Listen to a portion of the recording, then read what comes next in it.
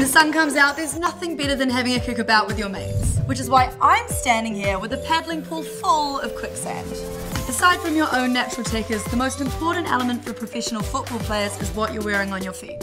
Football boot design has become a very serious business. Sport engineers work alongside professional players using everything from computer simulations to robots, testing how football boots handle on various playing surfaces.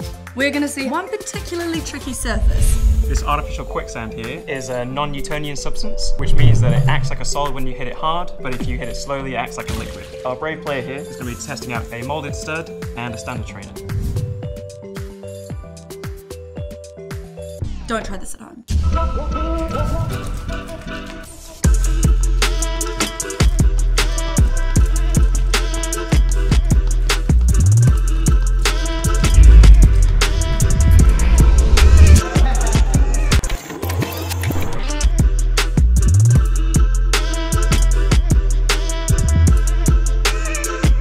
there you have it.